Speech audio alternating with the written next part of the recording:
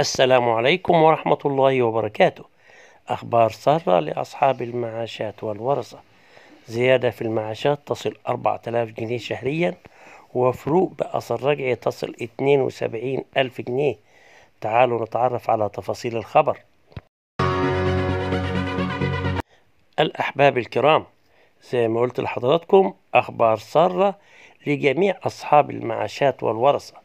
وزيادة في المعاشات بتصل لأربعة آلاف جنيه شهريا وفروق مالية بأثر رجعي اللي بنقول عليها الأثر المتجمد بتصل لاتنين وسبعين ألف جنيه.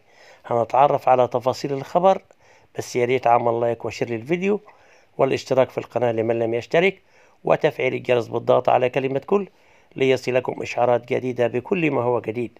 الأحباب الكرام في كل مكان. بداية أحب أفرحكم بالآتي. أولا أصحاب المعاشات والورثة الذين صرفوا من قبل بالقانون 25 لسنة 2021 لا يخص الحكم وأن من صرف ما زال لهم أو ما زال حقهم 80% من العلاوات الخاصة حسب تصريحات محامي المعاشات. وما يخص القطاع الخاص الذي كان يحصل على علاوات خاصة أو الشركات التي تم خصخصتها لها الحق في العلاوات الخمس مثل القطاع الحكومي تماما وفقا للحكم.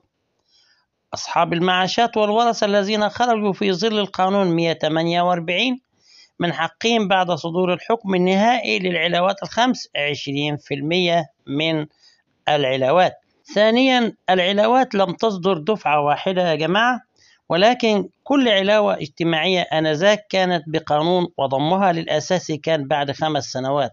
وعلشان كده بيختلف المبلغ من شخص الآخر حسب الحساب أو الحسابات المالية. ستكون من بداية أول علاوة تم ضمها للأساسي يعني من بداية 1992 يعني إذا حساب العلاوات من 87 والحساب المالي من 92 الزملاء الكرام عندنا أساسي ومتغير والإثنين هما المعاش بتاع حضرتك الشهري.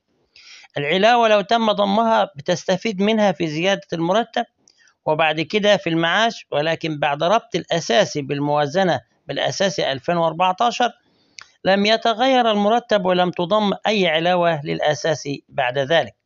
وبالتالي تم وقف المرتب على أساس 2014 حتى الآن ولم تضم تسع علاوات حتى الآن للأساسي وبالتالي المعاش بيكون بسيط جدا اللي هو المعاش الشهري وأيضا المكافأة. علشان كده إحنا عندنا علاوة بتضم للأساسي وعلاوة اجتماعية بتضم للمتغير ودي قبل 2014 بعد 2014 زي ما قلت لكم تسع علاوات لم نستفيد منها.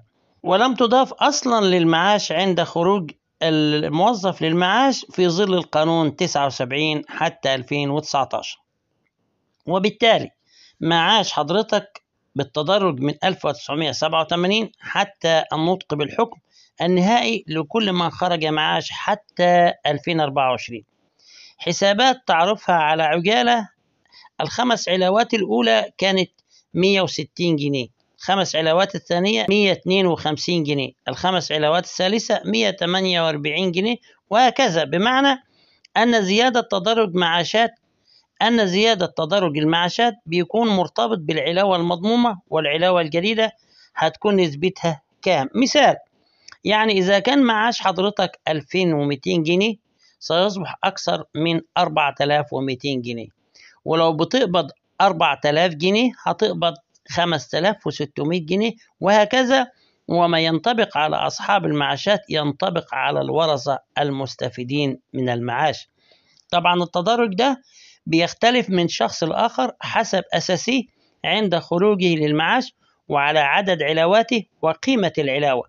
آخر علاوة يا جماعة كانت في 2024 كانت 15% إذا المعاش هيطلع 11674 جنيه فاصل 96 قرش حتى 30 6 2024 والمتجمد يصل من 10000 جنيه حتى 72 ألف جنيه ونصف.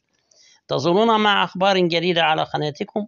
هذا وبالله التوفيق والسلام عليكم ورحمة الله وبركاته.